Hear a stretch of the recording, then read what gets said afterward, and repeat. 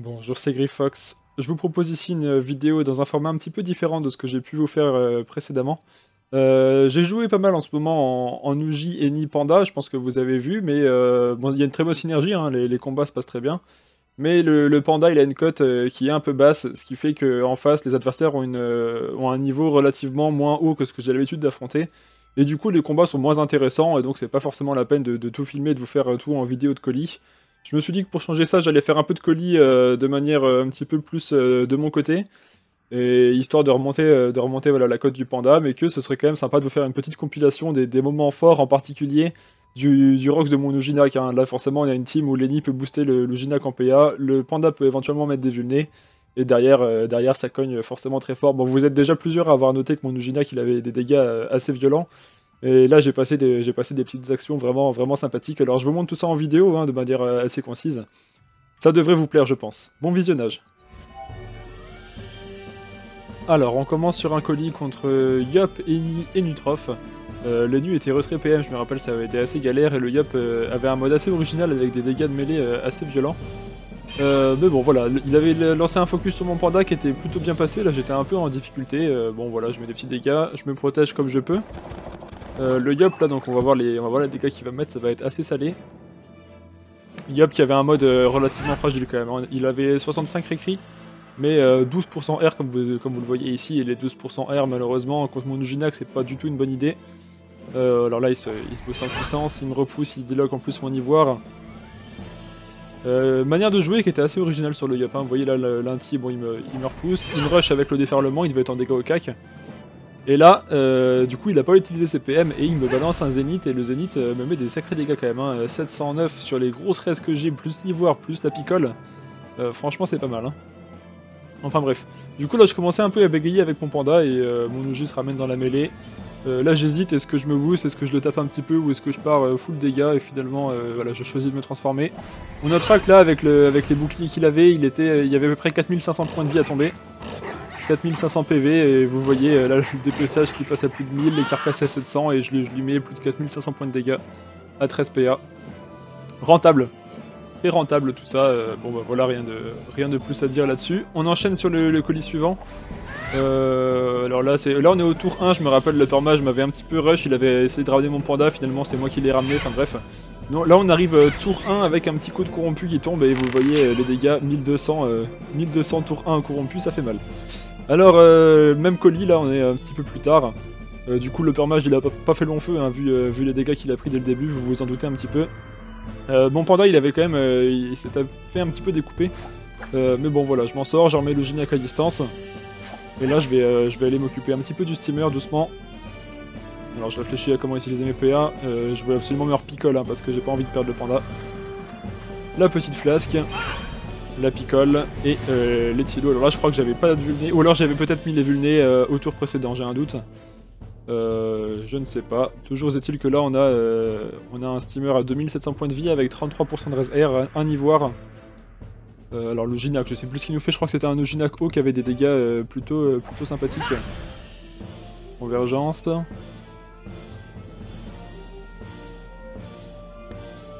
Ouais. Dépeçage, et puis voilà, il me déloque l'ivoire, et là je crois que j'ai pris des dégâts. Ah non, c'était un Ginac air, d'accord. J'ai vu beaucoup de Ginac haut, donc euh, j'ai cru. Ok, autant pour moi.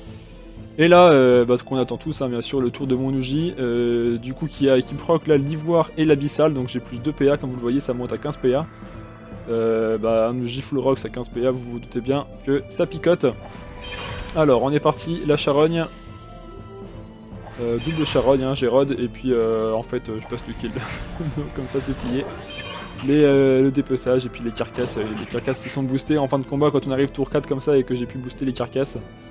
Vous voyez bien que là c'est dévastateur. hein. Malgré le nerf du sort d'ailleurs, hein, euh, Carcass a été énormément nerf. Avant ça tapait largement plus fort que ça. Mais bah, malgré tout ça reste, ça reste super puissant. Et donc là bah, je, vous, je vous mets la, la fin du combat parce que je crois qu'il y a un autre tour de Rox sympathique qui va enchaîner derrière. Euh, du coup qui vient stimuler le lapin pour mettre un petit peu de soin sur le panda.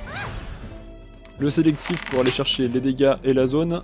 Petit coup de corrompu, bon là forcément ça fait moins mal que sur le, ça fait moins mal que sur le permage parce que là on a un Ujina qui a deux états de rage hein, donc il a des armes réduction.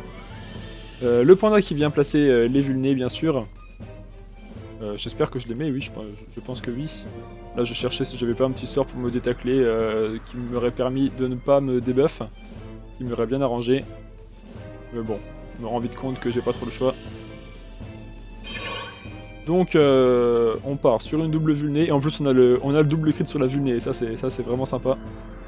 Finalement, je me stabille, je recule, et je mets un petit, euh, un petit éthilo. Là j'allais chercher les dégâts à distance, hein, c'est pour ça que j'ai réfléchi un petit peu à comment j'allais utiliser mes PA. Euh, du coup, euh, bah, qui va enchaîner sur du Rox. Et là, bon, de toute façon, il est en, il est en 1v3, donc il, va, il sait qu'il va pas aller bien loin. Et, euh, mais ce qui est intéressant pour moi, c'est qu'il se transforme. Et alors vous allez le voir ici, hop Bon mon panda qui prend euh, mon panda qui prend quand même bien cher, mais euh, là il a, pas il a pas résisté à l'envie de se transformer. Et un Uji qui se transforme, hein, il, perd ses réductions de dégâts, donc là on a 4000 PV, on est sur du 29% de, résistance R, ce qui est quand même relativement correct. Et puis, et puis là c'est parti, allez, 13 PA à nouveau. Les dépeçages, ah non, limier d'abord, ouais, pour me booster en puissance. Bon, j'avais déjà le boost de puissance d'avant, le dépeçage qui passe à presque 1000. Et les carcasses, là, pour 2 PA, je devais être à 850, peut-être 900. Euh, c'est monstrueux, quoi. Bref, voilà, donc pour ce colis, c'était plié. Là, le colis là, alors franchement, euh, je me suis un peu chié dessus quand j'ai euh, vu ce qu'il y avait en face. Là, on avait un sacrieur full résistance, un crack qui défonçait tout, et un, un Osao qui mettait des gros dégâts. Je me suis fait éclater le panda dès le début du colis. Donc là, je, suis un peu en mode survie, j'ai franchement bégayé sur le, sur le colis là, c'était pas facile pour moi. Mais bon, voilà, le panda qui essaie de, faire un petit travail de placement. On est tour 2 là, on est tour 2, le panda qui a ramené l'ossa, mais euh, qui s'est fait ramener par le sacri, enfin bref, ce genre de choses. Pas évident, j'essaie de partir sur de la protection au maximum. Les dégâts sur le, sur Samodas. Et euh... Les, ouais, les, dégâts du, Kra là, c'était euh, assez ingérable. Le panda, en fait là pour les colis que j'avais fait, je, l'avais mis en 4 feuilles, j'avais envie d'avoir un peu plus de dégâts et finalement c'est le panda qui a pris le, focus sur quasiment tous les colis que j'ai fait. Ça a, été, euh, assez surprenant parce qu'en général un panda c'est pas trop le genre de truc que les gens ont envie de focus. Cela dit au niveau des résistances il est un petit peu moins solide que mes autres persos donc euh, ça, doit être la raison principale. Mais euh, du coup je me suis dit ouais bon c'est un panda je joue à la picole donc a priori je crains rien et ben et eh bien non. Voilà je me suis fait je me suis fait un peu éclater le panda à pas mal de reprises. Et là, euh, là je commençais sérieusement à, stresser. Mais bon, je me suis dit, allez, on, a ramené l'ossa, on est au CAC, on est boosté, on a l'étape 3, on a le, on roquet qui est posé, c'est parti. Donc là, euh, Ujinak 15 euh, PA, à nouveau avec Ocre plus euh, Abyssal. Et bah là, on est parti sur, le, sur un Osamodas, l'Osamodas qui a 50% de res R. Donc, donc là, bien sûr, vous vous en doutez, je ne passe pas le kill. Mais ce sera quand même l'occasion de regarder les dégâts que je lui mets. Je pense qu'il doit avoir des résistances de corps à corps aussi. C'est vraiment un mode euh, Osamodas ultra solide quoi. Et là vous voyez sur 50% les dégâts quand même qui passent, euh, qui passent plutôt bien quoi. Voilà, c'était juste, euh, juste pour vous montrer ça sur ce petit colis. Et avec bien sûr le, détaclage de Lenny hein, qui était taclé par l'épée l'épée Véloce. J'ai gardé 2 PA pour le détacler, très important, sinon il aurait été embêté pour aller chercher le soin sur le panda. Voilà. Bon puis le colis, le colis je l'ai gagné, hein, mais les dégâts ont été assez impressionnants au début. Alors ensuite un autre colis, alors là oui je me rappelle ces adversaires ils étaient, euh, assez sympathiques. Hein. Ça m'a bien plu de faire tout ça parce que j'ai au final j'ai joué un peu plus en mode détente. Euh, je me suis moins embêté euh, du coup avec le commentaire audio, ce qui me laissait plus de place pour discuter au clavier de manière écrite avec les gens. Et là c'était des abonnés, c'était vraiment très sympa. Bonjour à vous si vous regardez cette vidéo d'ailleurs. le colis a été chouette, hein. j'hésite d'ailleurs à, vous à vous en faire une version complètement commentée en différé. parce que le, colis était vraiment tendu, il était vraiment intéressant. Ils sont partis sur un focus panda et j'ai eu beaucoup beaucoup beaucoup de mal à le gérer. Contre, contre toute attente, euh, ils ont réussi à méroder mon panda avec une, avec une puissance assez, euh, assez remarquable, avec, euh, voilà, en, exploitant beaucoup les portails de l'Helio.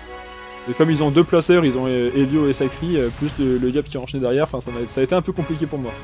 Mais bon, je m'en suis, sorti, suis sorti également à peu près. Et là on a, on a un joli tour de Rox qui va proc sur l'héliotrope. Héliotrope, euh... ouais, j'ai tout pile les pour aller le chercher, ça c'est nickel. Héliotrope, 33% de res R, 22 res fixe. Et là, euh, là bah c'est parti quoi, un petit coup d'héros. Hop, il devait être déjà érodé du tour d'avant, donc là il doit être héros max. Et là, bah, boum, ça tombe. Le Rox, sympathique, toujours les carcasses, hein, toujours que je me les garde pour la fin les carcasses à chaque fois. Parce que c'est une fois que le rejoint est placé et que je me suis boosté au limier. Voilà, donc c'était juste pour le, fun. Et euh, deuxième, deuxième moment assez, euh, assez sympathique euh, du colis. Alors là, ils étaient en train de se dire euh, que c'était euh, Et c'était impossible de tomber mon panda, je leur disais oui bon en même temps focus un panda picole c'est pas forcément la, meilleure idée mais. Mais bon. Donc là on avait le on avait le Sacri qui était quand même assez blindé, qui essaye d'aller d'aller aider l'héliotrope qui, ne s'était pas trop remis d'ailleurs de ce que Luginac lui a mis juste avant. Et, là le Sacri qui vient changer de place avec le, totem de l'hélio et mettre le sacrifice, ce qui me donne une zone, une zone magnifique. Alors là c'est juste pour, juste pour ça parce que bon ceux qui jouent Panda, ils savent très bien que quand on arrive à caler une lame en zone, euh, c'est juste jouissif, donc euh, je me suis pas privé. La, petite, euh, petite lame qui passe avec un crit et qui met des énormes dégâts sur le sacrieur d'un coup. Ah, c'est toujours, c'est toujours bon à apprendre, hein, c'est du bonus. Euh, voilà quoi. Hop Lédio, qu'est-ce qu'il nous fait?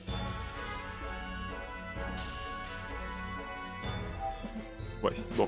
Ok, ensuite, colis suivant. Euh...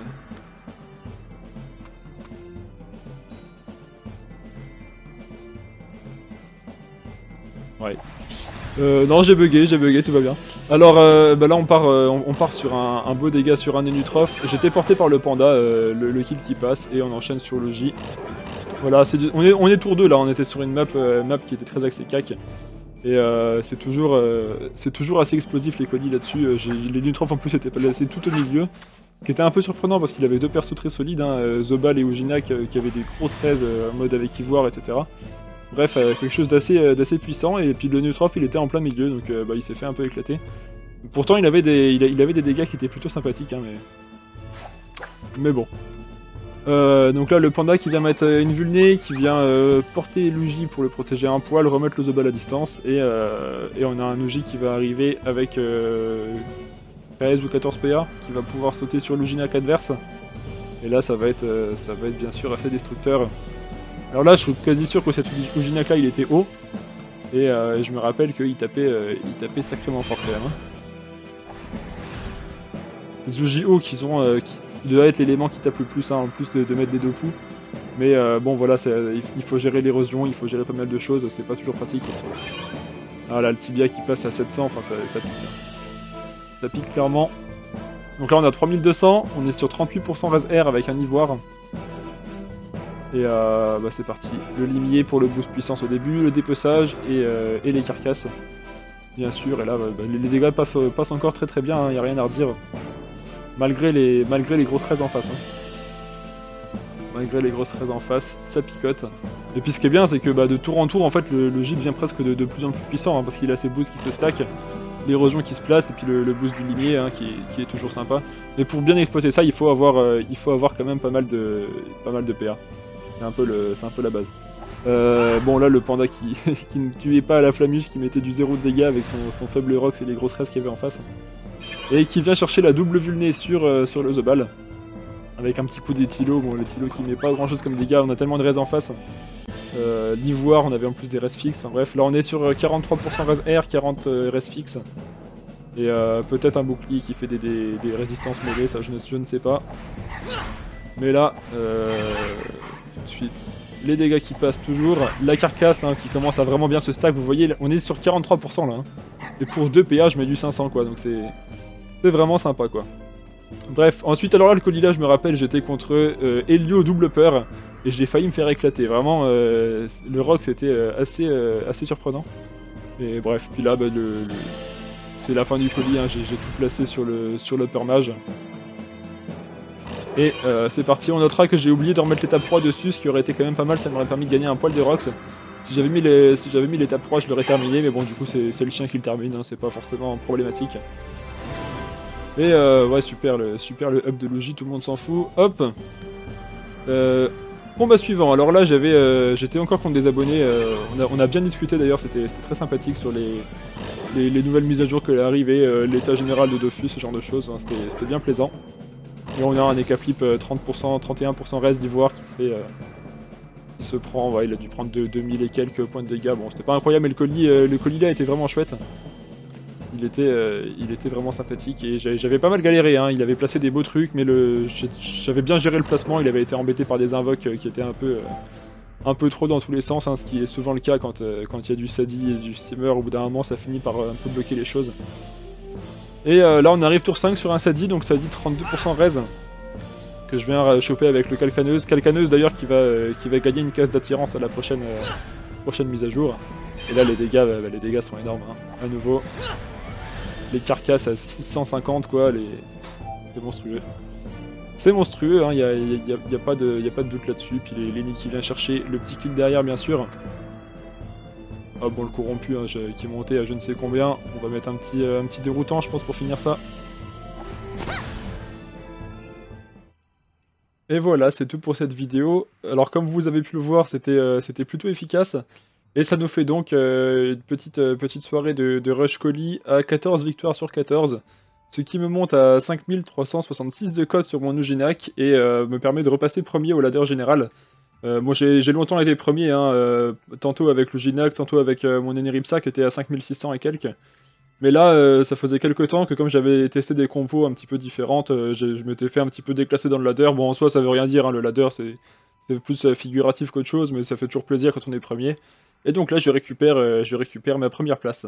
Alors pour mettre, mettre un terme à cette vidéo, je vous propose qu'on aille quand même voir au niveau du putsch quels sont les dégâts qu'on peut balancer euh, bah voilà, avec le genre de configuration qu'on avait hein, pendant les colis, mais contre un putsch, ça peut être, euh, ça, peut être une manière un petit, peu, euh, un petit peu ludique de terminer tout ça.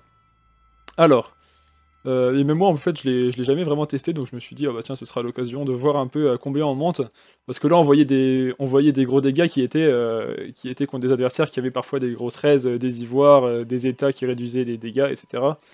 Euh, mais j'ai jamais vu à combien je montais sur un putsch en fait, donc euh, bah, je, découvre ça avec vous. Euh, on va prendre un 100, je pense que ça devrait être correct.